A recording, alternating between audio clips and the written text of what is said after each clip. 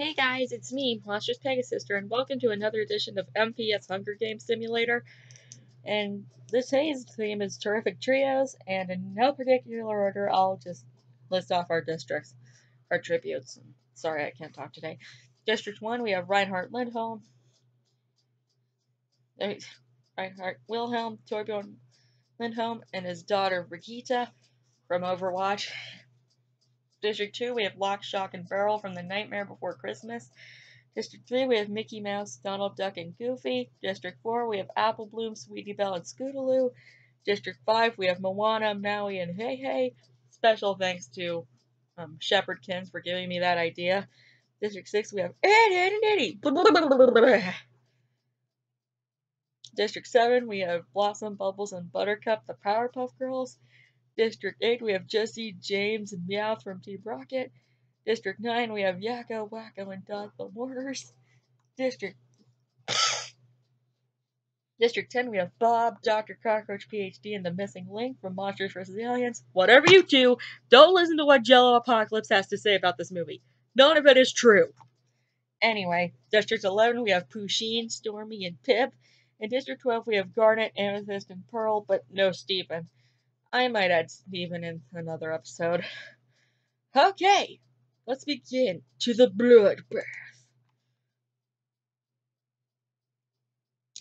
As the tributes stand on their podiums, the horn sounds. Meowth finds a. Sorry, my dogs were being stupid. Anyway, where were we? Oh, yeah. Meowth finds a backpack full of camping equipment. James finds a canteen full of water. Donald runs away. Buttercup runs away. Pip runs away. Pusheen grabs a backpack, not realizing it is empty.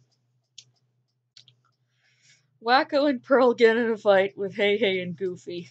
Hey Hey and Goofy both survive. Okay, so Wakko and Pearl fight, die right off the bat. Sorry, guys. Scootaloo runs away. Missing Link severely slices Double D with a sword. Alright, two of the endpoints are already dead. Didn't see that coming. Barrel runs away, Brigitte runs away, Maui grabs a backpack and retreats. Lock runs away, Sweetie Belle runs away, Doc grabs a shovel, Bob grabs a backpack and retreats. Mickey clutches a first aid kit and runs away. Sounds like something you get. Ed runs away. Ed, you better, you better avenge your fallen brothers. Bubbles clutches a first aid kit and runs away. Again, very in character. Jesse receives a trident from inside the cornucopia. Blossom runs into the cornucopia and hides. Stormy also grabs a first aid kit. How many are in that thing? Yakko runs away. Amethyst runs away. Torbjorn snatches a bottle of alcohol and a rag.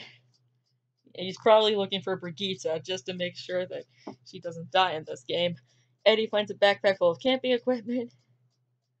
Okay, Eddy isn't dead. Never mind, I'm an idiot. Shock steps off her podium too soon and blows up. Okay. Reinhardt runs away, Applebloom runs away, runs away, Dr. Cockroach runs away, Moana runs away, and Garnet finds a canteen full of water. Not sure if she's going to use that later, but okay. Day 1. Hey Hey defeats Reinhardt in a fight but spares his life. Not sure how that's gonna work. Mickey kills Apple Bloom with her own weapon. Did Apple Bloom even get a weapon? I don't know. Dot diverts Moana's attention and runs away. Sounds like something she'd do. The missing link attempts to climb a tree but falls to his death. Okay. Didn't see that coming. Jessie questions her sanity. I mean, I wouldn't blame her, considering what happened just now. Amethyst sprains her ankle while running away from Torbjorn. I didn't know gems could sprain their ankles, but whatever. Donald discovers a cave. James makes a wooden spear. Pip and Buttercup work together for the day. Yeah, I can see them teaming up. Blossom, Eddy, Brigitte, Gunner, and Scootaloo hunt for other tributes. Pusheen diverts Dr. Cockroach's attention and runs away. Meowth stalks Ed. Don't know why you do that, but okay. Stormy and Maui hunt for other tributes. Goofy constructs a shack. Not knowing, don't know how that's gonna work. Sweetie Belle makes a wooden spear. Barrel attempts to bolus his wounds. Bob injures himself. I don't know how he did that because he's supposed to be indestructible. I'll have you know that I've become indestructible. Okay, I'll stop. I don't want to Disturbed to sue me. Yakko makes a wooden spear. Lock explores the arena.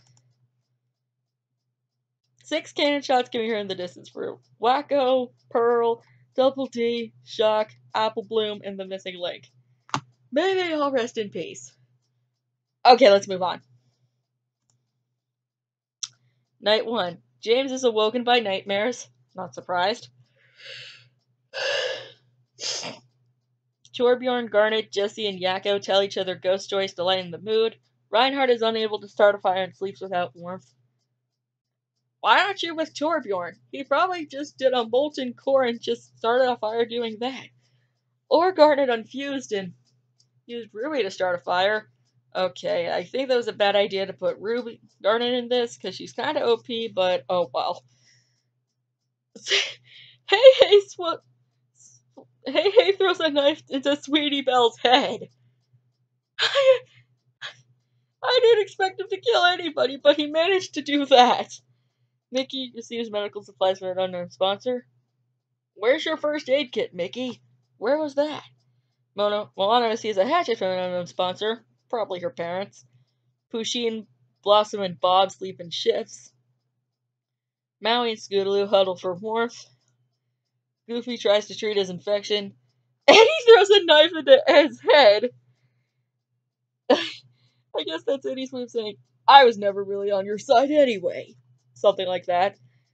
Dot looks at the night sky. Dr. Cockroach attempts to start a fire but is unsuccessful. You can build a laptop with a pizza box, two cans of. You can build a computer with a pizza box, two cans of hairspray, and a paperclip, but you can't start a fire. Can someone explain to me how that makes sense? Lock convinces Pip to snuggle with him. I mean, yeah, who wouldn't want to snuggle with a fl fluffy little kitty? Buttercup goes to sleep. She probably needs it. She's like six. Meowth passes out from exhaustion. Donald Duck dies from an infection. Bubbles climbs the tree to rest. I mean, you could just pew right on up the tree, but whatever. Barrel lets Amethyst into his shelter. Stormy throws a knife into Brigitte's head. Again, I'm not sure how that that's possible. Day 2. Goofy receives medical supplies from an unknown sponsor.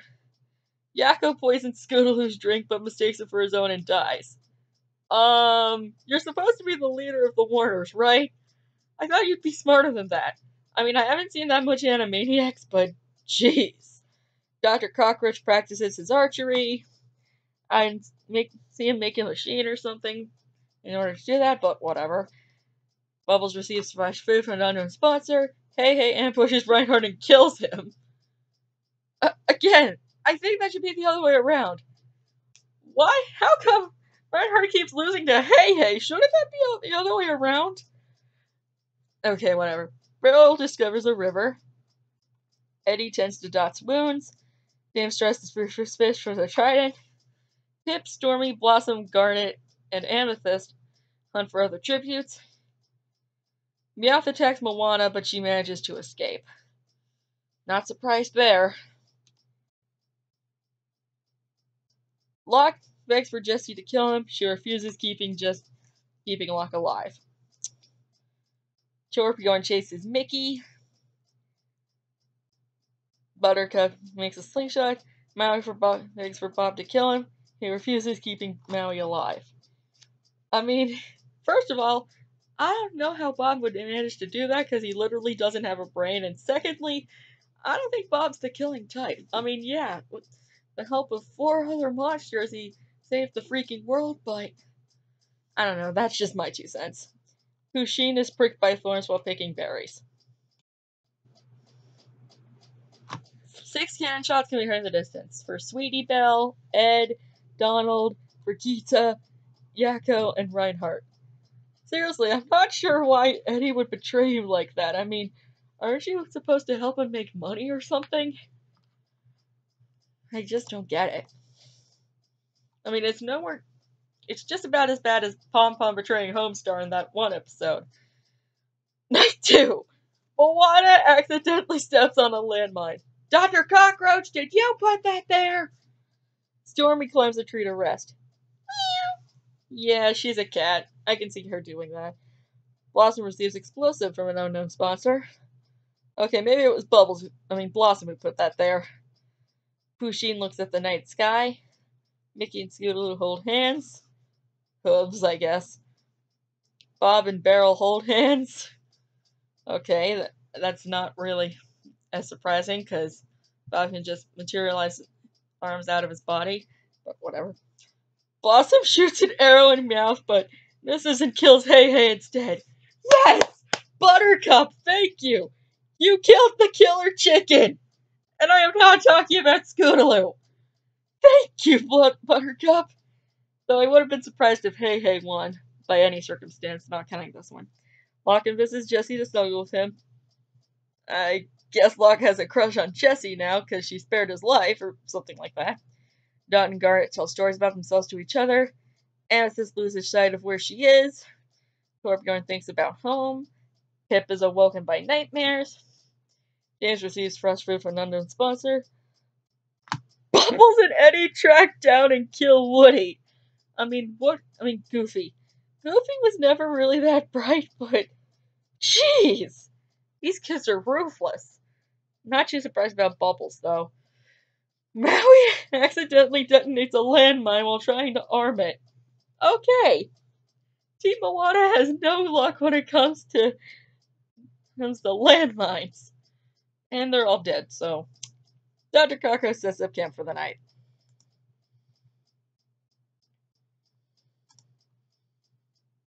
Day 3. Pusheen makes a slingshot. Meowth makes a wooden spear. Lock picks flowers. I wouldn't really see him doing that, but whatever. Scootaloo tries to sleep through the entire day. James receives Cleve Water. Mickey defeats Amethyst in a fight but spares her life. Yeah, I'd see him doing that. Dot picks flowers. Okay, that's a little bit more in character. Eddy receives a hatchet from an unknown sponsor.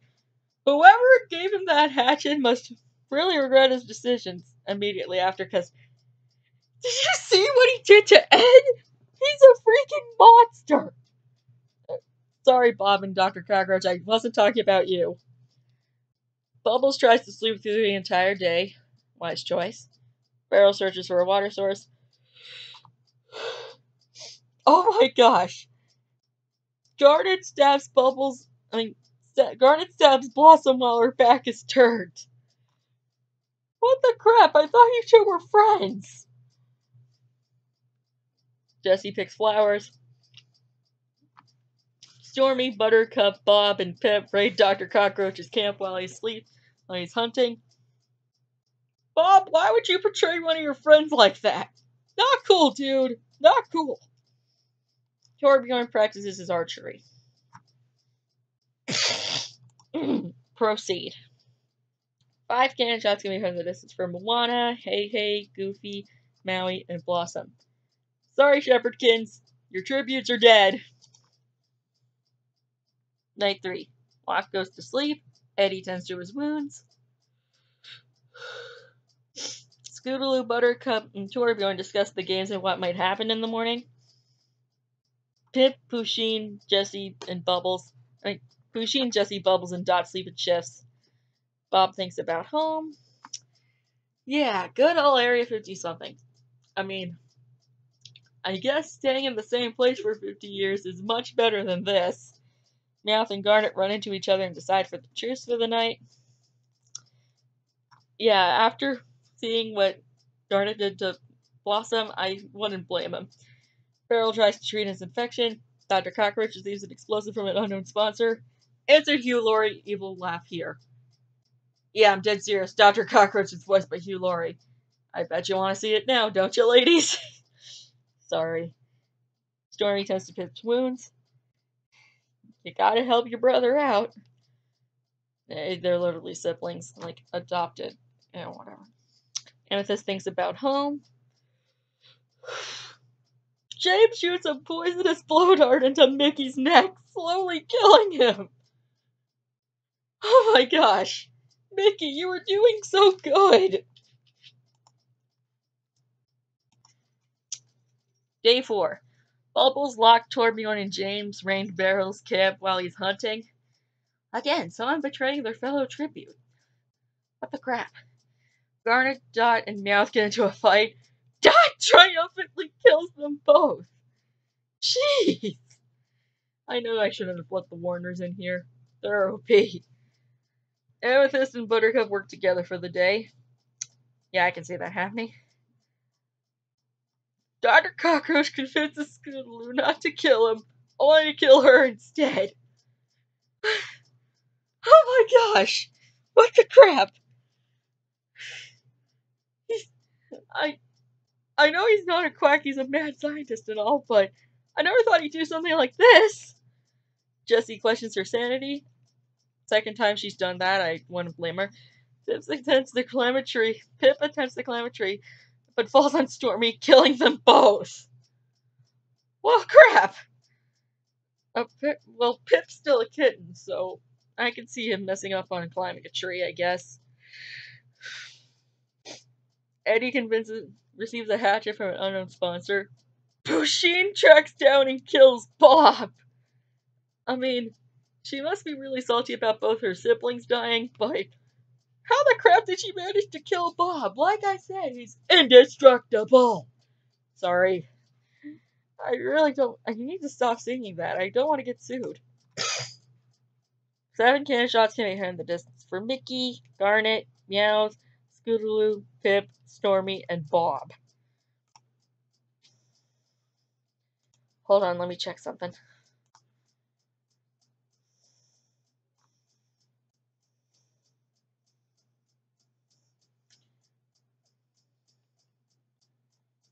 Nine, ten. Okay, we got ten tributes left. Okay, let's continue. Bubbles tries to sing herself to sleep.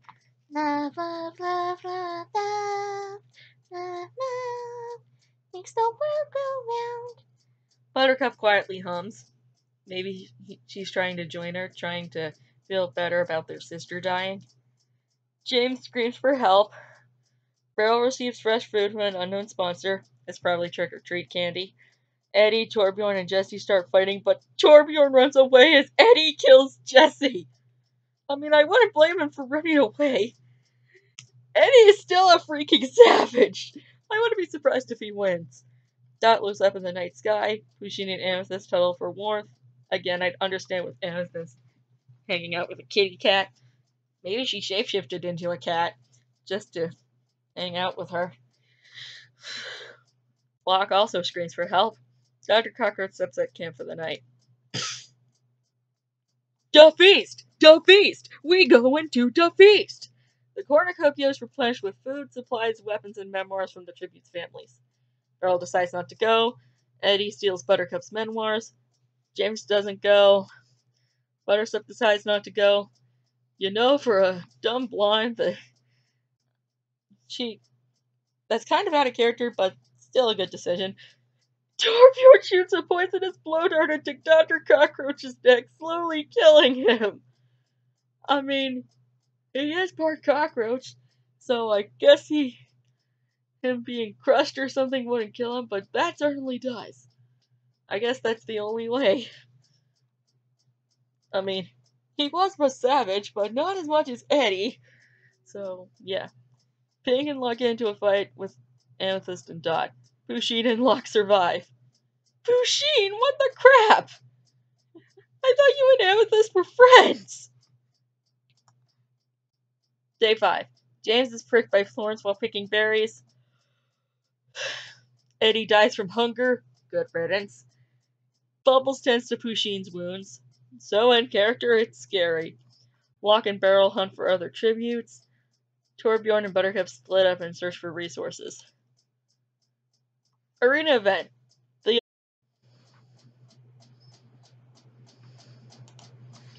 Sorry, I ran out of time. Okay, arena event. The arena's border begins to rapidly contract. That means it's getting really small. Torbjorn survives, Bubble survives. Pusheen pushes James into the corner while he isn't paying attention. I mean, I haven't seen Pokemon in a while, but I guess that's kind of in character. Barrel survives, Buttercup survives, Lock trips on a tree branch and is unable to recover fast enough.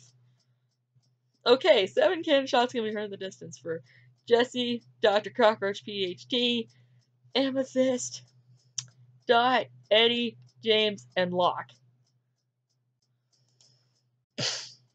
Alright, I'm just gonna check who all is left.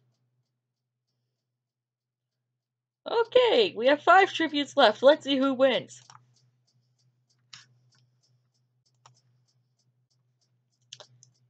Night 5. Buttercup receives fresh food from an unknown sponsor. Torbjorn tries to treat his infection.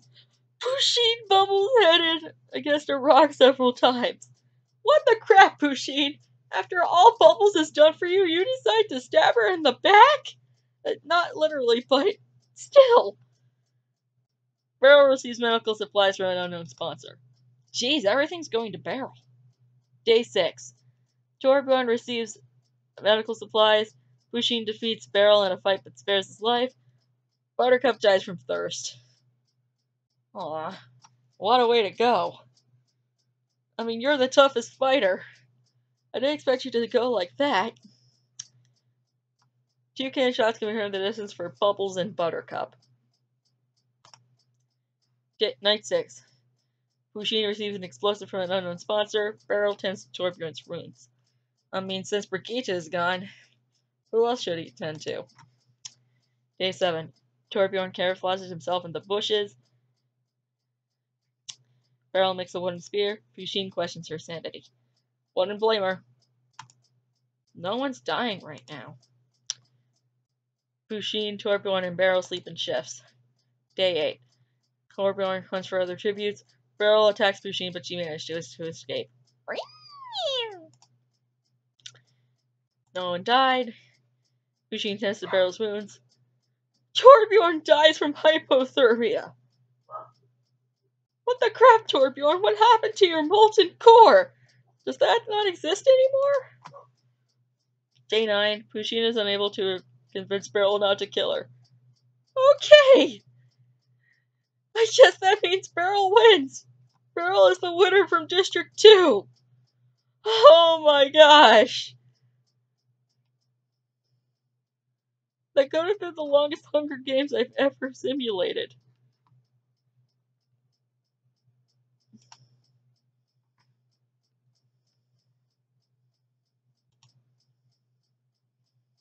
And Pusheen has the most kills. Right next to Hey Hey. Okay, I hope you guys enjoyed this video.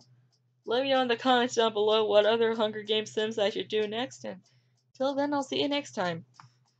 Bye!